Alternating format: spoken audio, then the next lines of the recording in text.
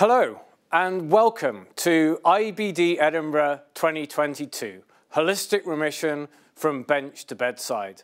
My name is Charlie Lees and it gives me a huge pleasure to welcome my expert faculty to you, our audience, for this virtual event. I'm a gastroenterologist in Edinburgh. I'm delighted to have put on this event that I've co-created with Tim Raine and Ailsa Hart. I'm going to kick things straight off now by tackling some of the big questions in IBD today. What causes IBD? What are the consequences of IBD? And what are the general principles of treatment that we should take with us today? First, let me share with you my disclosures. IBD consists of Crohn's disease and ulcerative colitis. These are common conditions that affect nearly one in 100 people today. The precise cause remains unknown, but we know that we have a dysregulated mucosal immune response, an altered microbiome or a dysbiosis, and we have key environmental and genetic drivers. IBD is classically relapsing and remitting.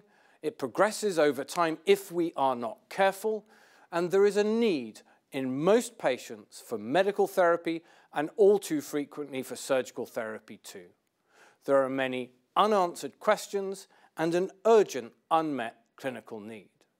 For an individual patient who develops IBD, hopefully we induce remission, but all too commonly the disease flares and there is progression of disease over time.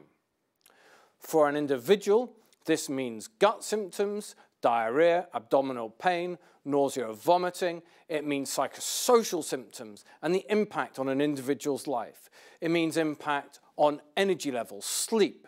It means impact on everyday life activities. We also see extraintestinal manifestations affecting the joints, mouth, skin, eyes, and liver. And we all too commonly see the evolution of disease with hospitalizations, surgery, further complications, including complications of our therapies.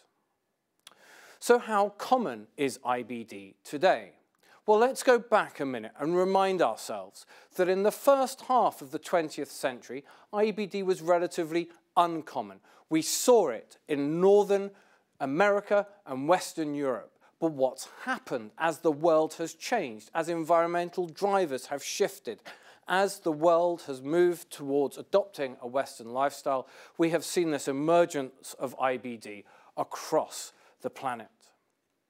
In Edinburgh, if we dive into more detail of the work that Gareth Jones put together, we now know that as of 2018, the prevalence was 0.78%. In other words, one in every 125 people living with IBD.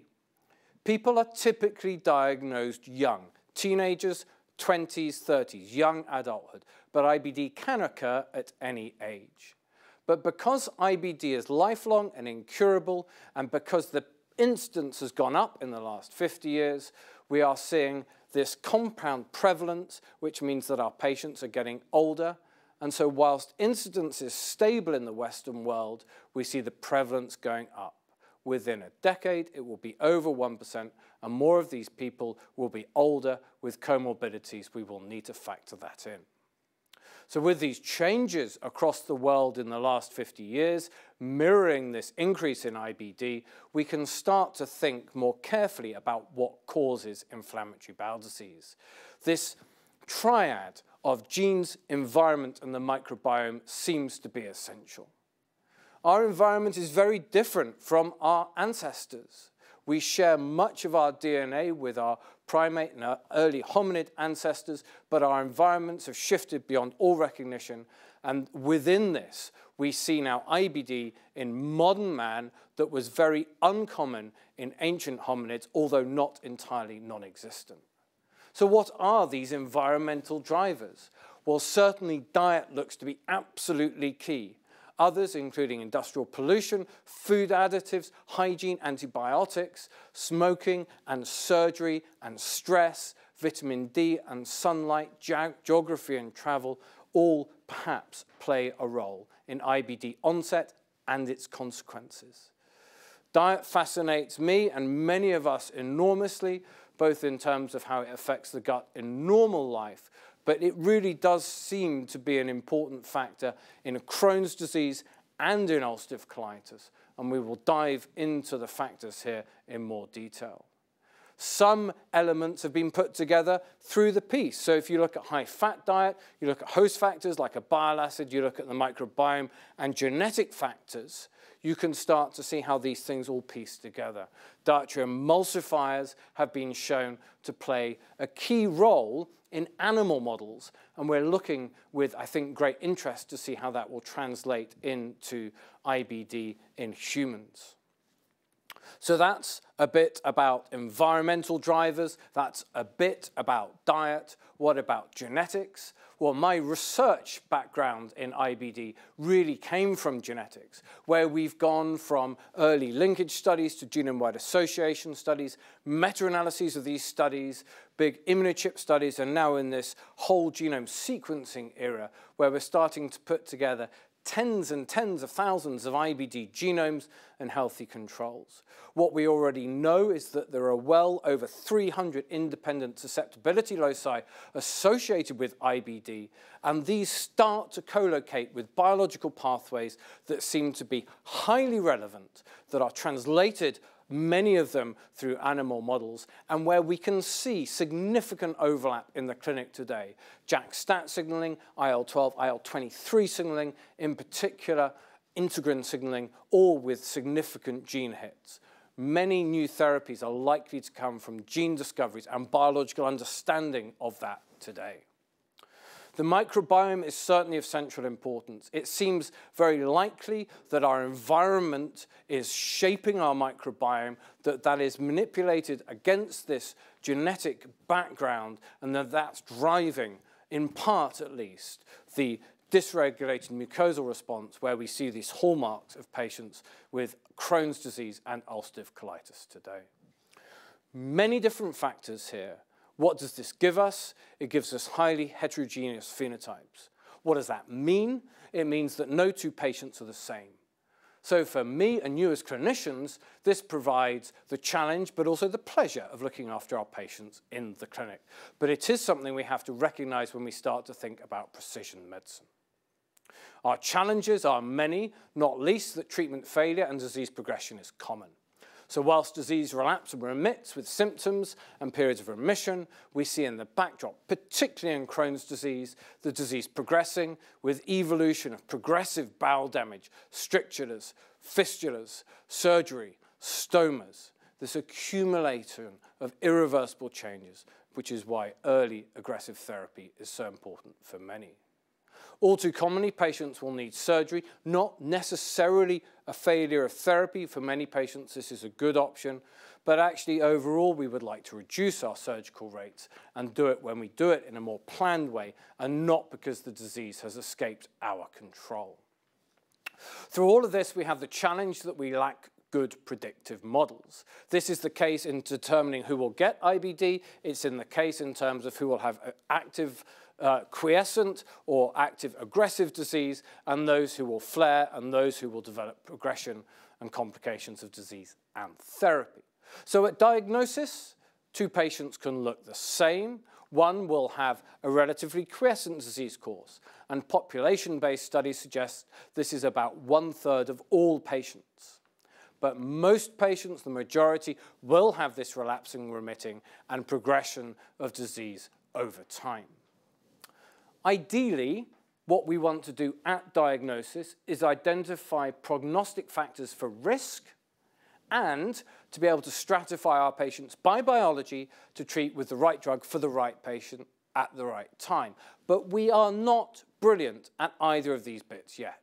It's important in Crohn's disease to acknowledge that the disease progresses. Most patients start with purely inflammatory disease. Over time, as you see on this chart here from the International Consortium, you see more penetrating and more stricturing complications as things progress with time. Now, this we've known for a long time. We've known that if we treat earlier, we do things rather better until recently, we've not had the widespread availability of effective agents. Why widespread? Well, because therapy agents need to be available. They also need to be cost effective. So we are now firmly in this era of biosimilar anti-TNF therapy, where drug therapy can cost as little as 1,500 to 2,000 pounds per year. But we also have new agents that tackle different pathways, and we have a very rich therapeutic pipeline available coming now. So, Early effective therapy in Crohn's disease appears to be a really core treatment principle. We see this from our Edinburgh data that Phil Jenkinson generated, showing that when you treat earlier with Crohn's disease with biologics, as we have done in the right-hand graph here, you get lower surgical rates and a longer time to first operation.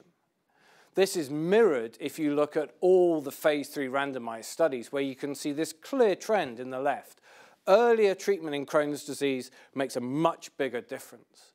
That pattern is not there in UC, and probably in UC, the important thing is to recognize that when the disease flares, that's when the clock starts ticking. And we now have many agents that we can use to treat ulcerative colitis, not just mesalazines, but also anti-TNF agents, anti-integrin agents, uh, IL-12 therapy, and JAK inhibitors, with more to come as well. This change happened in about 2014-15, and if you look at colectomy rates in Lothian, where Edinburgh is, you can see how they have dropped off after 2014-15. We have seen fewer colectomies when we've been using more biologics, this is a better result for our patients today. Okay, so we want our patients to be well. If we're not yet preventing IBD today, what we would like to do is get our patients into deep remission and keep them there. Stratification by risk is something we will cover a bit later. Treatment by biology I will cover briefly, as well as preventing disease from flaring. So the core of our precision medicine approach, ideally, is getting the right drug to the right patient at the right time. Some of that's precision medicine, some of that's head-to-head -head studies, and it's going to be very interesting to me to see how those two feed in together over the next couple of years. This will inform drug sequencing. We will see the various role of antibodies versus small molecules, and we will soon be starting to combine therapies in earnest. What about preventing the disease from flaring? I've been running the PREDICT study in Edinburgh for a number of years now, and this year we will be very excited to see the first meaningful results coming from this. Trying to determine which aspects of baseline habitual diet, the environment, genetics, and the microbiome are associated with and predict disease flare in IBD patients in remission. So we are taking a large cohort, 2,500 patients in remission. We're doing a deep dive to look at their clinical features, their the microbiome, their DNA, their diet habits, as well as psychosocial function, and then we're following over time to see what happens in those that flare versus those that do not. This longitudinal follow-up is critical. These and other studies are going to start to help us get much closer to success. Success for our patients and for our system, whereby we have fewer patients having fewer complications and we have better outcomes over time. So here we are. This is where we end up, where currently we're not very good at stratifying by risk or treating by biology. But we have got very good now at monitoring with treat to target algorithms, which we'll explore in much more detail, that enable us to catch up quickly when things are not going the way we want to for our patients today. So here we are, 2022. I think we are looking towards a horizon with huge possibilities for inflammatory bowel disease. Seven or eight new molecules should come to the market for Crohn's disease and ulcerative colitis within the next two or three years, a few of them already this year. There are more phase three RCT data for new exciting molecules coming. We're seeing the application now of multiple omics on huge cohorts of patients with longitudinal follow-ups. We've got diet studies, we've got other interventions. I think we are understanding now how to treat our patients as a whole, looking at holistic care, and we are looking at digital solutions that will soon bring in artificial intelligence and machine learning so that we have truly predictive analytics to help our patients get better over time. Thank you for taking the time to listen to me just now. I want to acknowledge my team who have done an enormous power of work over the last years to help bring us to this point and who've been instrumental in helping setting up this meeting today. I want to wish you all a very happy, successful conference and thank you very much for your attention today.